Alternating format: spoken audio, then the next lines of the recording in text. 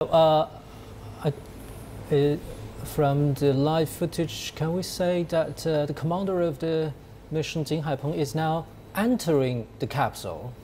Yes, they, they are now entering the capsule, and uh, one by one, the astronauts are being prepared by the ground crew. As you see, that the uh, the man with the white hat Yeah. are the ground crew uh, supporting, and he's trying carefully positioning the astronauts into a very uh, safe position, a position that uh, you would uh, experience when you are you are in your uh, when before you were born, and that you, you have the same position after the astronauts. So they have to use the, the, the fetus position.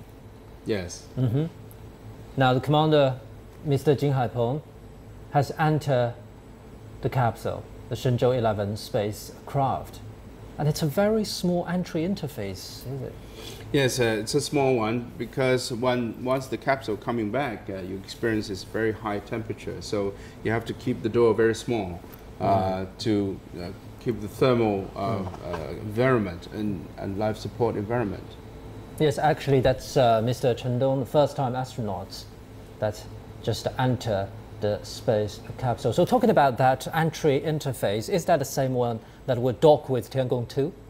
Yes, the uh, the capsule is going to be the the place where they take off, uh, they escape, or they come back, and then the, the docking is uh, uh, on the uh, on the service module, uh, where they they will use uh, a number of uh, instruments to pointing the the rendezvous and docking. So there's a, a service module attached to uh, the capsule itself. Uh, and then once in space, the service module will be fully used for uh, rendezvous and docking purpose. So, this capsule, uh, you, you mentioned uh, life support is a very important element in, in, in this uh, capsule. So, what about oxygen? It produces its own oxygen or it carries tanks? It carries a number of uh, oxygen tanks. Uh, there is also a For 30 days stay? Uh, they, they also will test the recycled system. Uh, they, uh, because the long station duration, long duration stay, you have to use a recycled system. Uh, not for only for oxygen, also but for uh, for waters and other uh, essentials. Um, there are also uh, three sources, or the two sources they can use. The one is that they have already uh, launched a number of cargoes on board the Tiangong 2, uh, which happened a month ago. It's in orbit and has uh, lots of life support uh, uh, uh, equipment and facilities on board. And the other one is uh, uh, they, they carry it by themselves. Uh, and once these two uh, spacecrafters are, are, are integrated in one after docking, they will have a full month's life support uh, equipment, facilities, and experiments and life support systems, even their food uh, prepared and ready.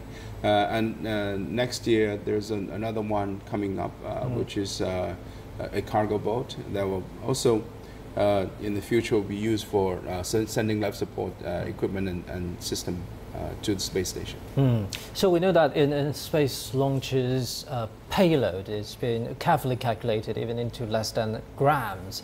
So uh, uh, talking about life support, you mentioned there may be food and other uh, medicine and everything. So uh, the, talking about life support on Tiangong 2, uh, is it only sufficient for a one month stay, even a little bit longer? But that's all, right? I think that's all because there are no further uh, human missions planned for this uh, Tiangong 2.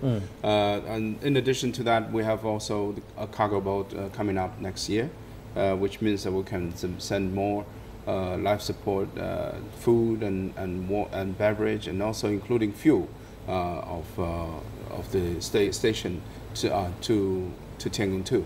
So uh, at this moment. Uh, uh, So that can be realized by one single cargo ship? Yes, it can be done by one single cargo ship uh, to support even half year uh, life support equipment. Uh, Uh, there are two systems uh, that we use. Uh, currently, there's a, a Russian system and, and the European or, or US system.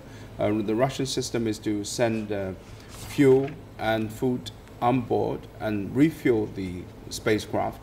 And the European system called ATV is using is using uh, the the uh, the ATV to lift the station by themselves.